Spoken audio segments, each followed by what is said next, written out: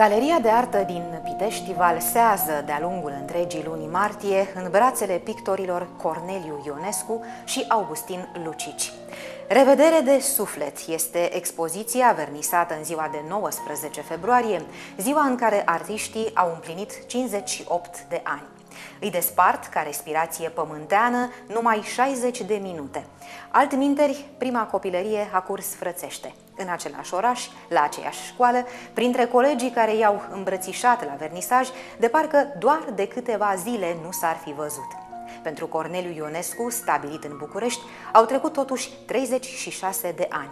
Expoziția de la Galeria de Artă este prima cu care își salută orașul natal. Balerinele lui Corneliu Ionescu luminează pierdut, ca felinarele ploilor pariziene, ca fluturii rătăcind buimac de la o lume la alta. Nu exuberanța, nu mobilitatea, nu zborul fără opreliști le scriu povestea, ci o grație stinsă, la limita nemișcării, a absenței, a resemnării. Dansul s-a golit de viață, e numai o dimensiune interioară, e pulsul unei experiențe subiective ajunse la final. O experiență a feminității în genere, consumată ca un narcotic, în prize dese și epuizante. Corneliu Ionescu plasează detaliul în plan secund. Pe fețe nu se citește nicio trăsătură, nicio expresie. Brațele, torsul, coapsele, dulceața posturilor, creează însă o atmosferă însuflețită, ușor de identificat. Pictorul merge până acolo, încât sentimentul că faci parte din poveste, că știi, vezi, asculți, sentimentul acesta crește cu puterea certitudinii. Odată închis cercul aparențelor și al evidențelor, balerinele lui Corneliu Ionescu glisează, fără voia lor, într-o perspectivă hieratică. Femeia se ridică pe vârfuri, spiritul ei, dincolo de orizontul lumescului și se revarsă într-o compoziție unitate care dizolvă chimia. Consecința, materia, alunecă iremediabil către aură. Augustin Lucici nu se dezminte nici de această dată. Orașele lui stranii curg domol în cer – amintiri incomplete, gânduri doar pe jumătate gândite, visuri doar pe jumătate visate, viziuni ale unei lumi paralele puse în mișcare de o inteligență autonomă, alta decât inteligența veghetoare aici. Pe pânzele lui Lucici, reflexia eterată a capitalelor europene descoperă sensuri și semnificante a căror sursă nu este exclusiv exterioară Culoarea este mai degrabă a profunzimilor, a nevăzutelor, a imaginatelor. Simțul vine în prelungire. De aici senzația că Lucici nu se termină niciodată și că lucrările lui se caută una pe alta, străduindu-se să se unească, să refacă un echilibru anume, raportul just între cei care suntem atunci când privim și cei care devenim când suntem priviți. Stau de vorbă, doamnelor și domnilor, cu pictorul Corneliu Ionescu, cel întors cu fața către casă, așa cum ați aflat, după 36 de ani risipiți prin lume. Domnule Corneliu Ionescu, bine v-am regăsit, mă bucur că vă revăd. De ce atât de târziu, domnule Ionescu, acasă? Ce s-a întâmplat cu dumneavoastră în tot acest timp? Eu am fost tot timpul prezent cu sufletul alături de Pitești, mă leagă tot ce înseamnă Pitești, de când eram mic, străzi, cartiere, oameni, suflete. Aici am făcut toate etapele școlare, generală, liceu, aici m-am format, deci e un motiv de concret, e un motiv de a de a spune că nu ne-ați părăsit de tot. Asta, asta, asta este da, esențial da. și că după atâta timp... Dar de ce abia acum? Cum se face că acum ați hotărât să, să veniți cu prima expoziție? Deci eu am, după terminarea facultății, am rămas în București, am primit bursa Ștorc, bursa de atelier pe patru ani de zile, unde Uh, municipalitatea mi-a creat uh, condiții să pot să lucrez gratuit uh, într-un atelier al Muzeului Ștorc.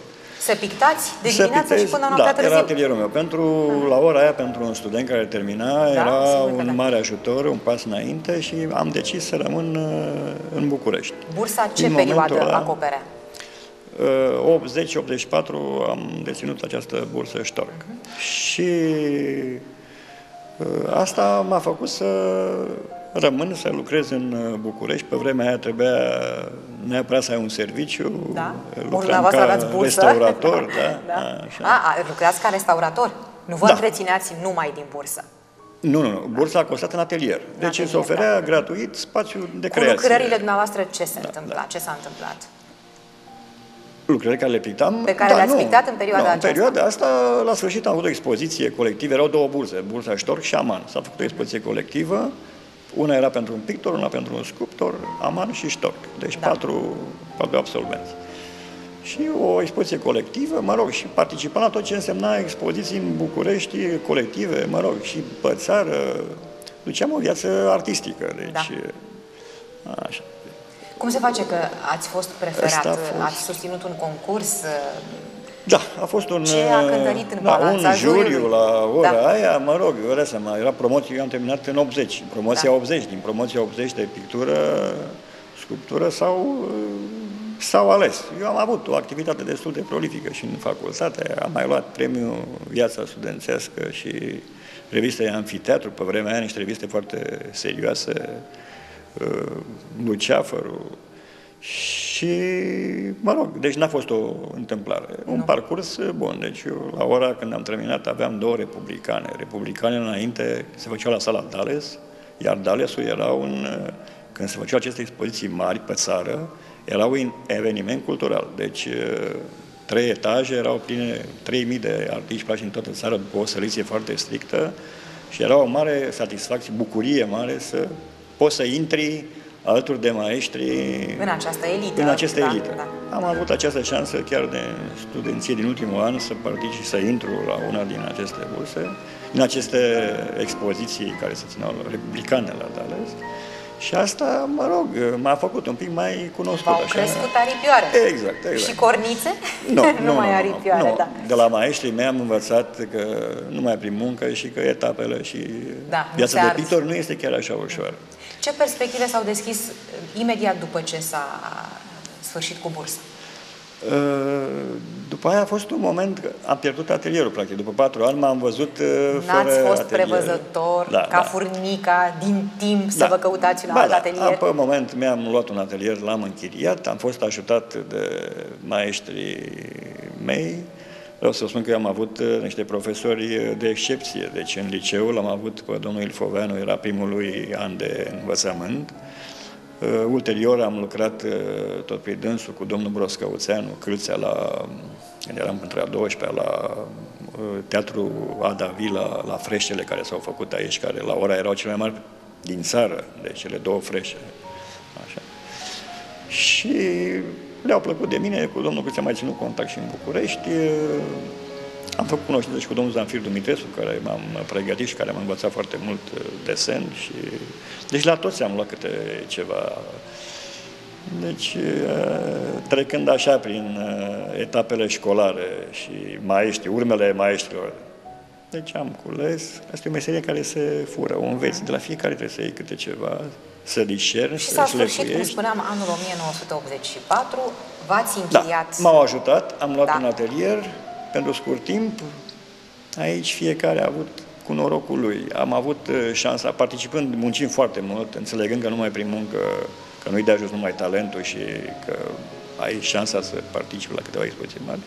Muncind foarte mult, uh, am primit un atelier, înainte îți găseai tu un spațiu, îl treceai prin Uniune, mă rog, cu acordul lor a șefilor Uniunii și m-am zbătut, mi-am găsit uh, după un an sau doi uh, uh, un atelier micus la Da. da. vremea aia, dar care mi-a fost uh, foarte benefic. Îl aveți și astăzi? uh, Nu, l-am avut 30 de ani, azi am un atelier foarte frumos, de, Da. de vreo 3 ani, dar chiar foarte frumos, în Eforiei, strada Ma- Eforiei. A, pe strada Eforiei, Da, da, București, da, da, da, da. Și deci torul se bine. După 30 de ani, proprietarii s-au întors unde aveam atelierul acesta micuț, la care era, mă rog, de în el au fost începuturile mele și Au toate... fost 30 de ani, 30 de domnule ani, Corneliu, exact, vă în dați care am seama, făcut da. vreo 20 de expoziții Da. într-un spațiu când veneau critici și critici mari la ora asta, chiar și acum, și și în timpul acela, se minunau cum fac lucrări de peste un metru într-un spațiu așa de mic, de 3 pe 3, nu știu cât avea, era foarte mic și neregulat ca asupra ca Mhm. Lucrați în perimetru. paralele ca restaurator, nu? Și erai obligat, toți artiștii, eram în jur de 100 de artiști la Trustul Carpați, lucram ca restaurator. Am uh, pictat la Palatul Cotroceni când s-a restaurat, după aia la Casa Republicii. Majoritatea colegilor mei cu care am lucrat, sculptori, pictori, mă rog, sunt profesor acum la Tonița, Dumneavoastră ați rămas pe meterezele restaurării, nu? Nu, și eu am fost, da. și eu am predat patru ani la o academie particulară de arte place Ateneum, patru sau cinci ani, o serie. Și după aia da. s-a desfințat. Erau începuturile facultăților particulare. Da.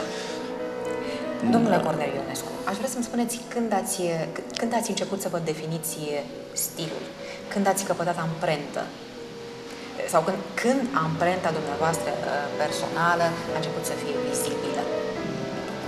Aici este De foarte, departe. e o întrebare foarte interesantă și chiar uh, pentru fiecare tânăr care termină arte plastice e... Trece o vreme până se decantează în el uh, Da, da, da. La unii Eternul. lucrul ăsta se întâmplă foarte rapid, Da. la unii mai greu, la unii niciodată. E foarte, foarte interesant. Adică aici e chestia de personalitatea fiecăruia, de cât de cinstit și cât uh, și, și muncă. Până la urmă, numai prin muncă iese la iveală personalitatea ta. Pentru că de-a lungul timpului tradiția noastră picturală, mari noștri maestri, cum să, ne-au învățat uh, o lecție clasică a picturii, cum se desenează, cum se vitează.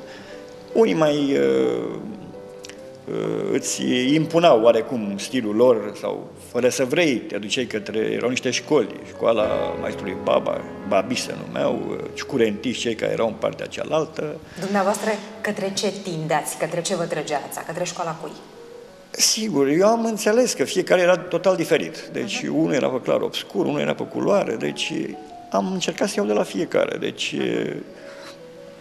a, îmi plăcea foarte mult și Ciucurencu și bă, era un martitan. Profesorul meu era un bon om, un mare artist, Gheorghe Șaru, mă rog, a murit în America, s-a retras da. la New York ultima dată. El ne-a cam lăsat un pic uh, Da, să, da, ne da. des, să ne desfășurăm noi, să ne... Să vă găsiți propria voce. Exact, exact, exact. Nu s-a implicat foarte mult. Asta a făcut foarte bine, pentru că fiecare ne-am găsit foarte rapid uh, drumul. Dar uh, nu întotdeauna. E foarte greu să... Aici e de șansa și de norocul fiecare și cât de mult a muncit. Una e să ajungi pe o arteră în care știi clar ce ai de făcut, îți vezi capătul celălalt al drumului și mergi cu pași ușori, ușori, așa, până să ajungi acolo și tot timpul mai ai câte un pas de făcut, că altfel ți-ai Da, întrerupe, da. spui, am ajuns și nu, asta Da. e, aici sunt. Dar uh, uh, unii ajung pe niște străduțe așa mai micuțe, nu o partera principală și până să ajungă ei la capăt se mai pierd, se pierd pe drum, uh, oscilează foarte mult. Aici e chestie de tărie, de personalitate, de... Dumneavoastră, de cât timp sunteți pe Eu uh, drumul uh, am avut ușor șansa, de recunoscut da, din da, satelit? Da, da, de vreo 30 de ani sunt cantonat. Drumul uh, nu Corneliu sunt- Ionescu. Da, da, da. Mi-au, mi-a plăcut uh, totdeauna această temă, uh, tema asta feminină, Da, da, așa, da. și Să știți că toată lumea cu care am vorbit s-a îndrăgostit de balerinele dumneavoastră. E, e o nebunie. da, mă Prin rog, tot orașul. Luna, luna primăvară, luna martie întotdeauna e dedicată cu câte o expoziție din partea mea femeii.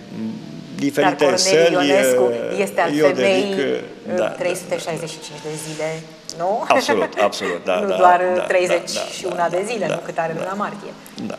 Și dacă inițial am pornit cu niște naturi statice în care eu mi-am dezvoltat meșteșugul și că la ora aia, mă rog, în anii 80 erau foarte apreciate, ușor, ușor, în urma unor studii, ne făcând neapărat pasiune, cum o zis unii despre o balină, nu, ideea este de grație, de feminitate. Ați cunoscut vreodată vreo balerină? Ați privit-o unde aproape din Da, culisă? și mi-a și reproșat că nu, picior nu se ține așa, a fost foarte drăguță.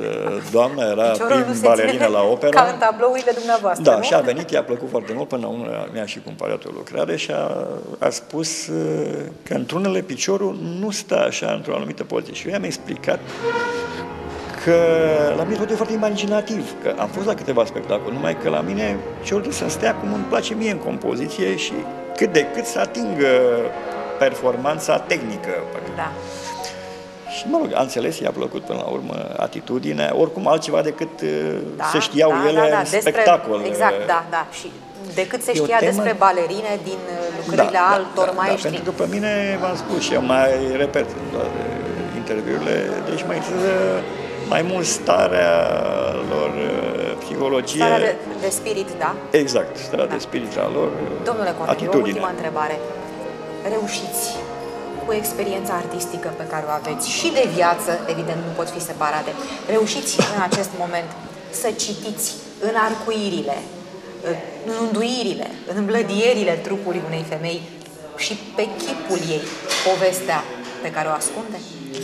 Povestea de viață? Da, în general, uh, în atitudinile pe care eu le pictez, uh, încerc să nu dau personalitate, personalității atât mult figura ei, pentru că nu vreau, uh, mă interesează atitudinea, mai puțin. Exact.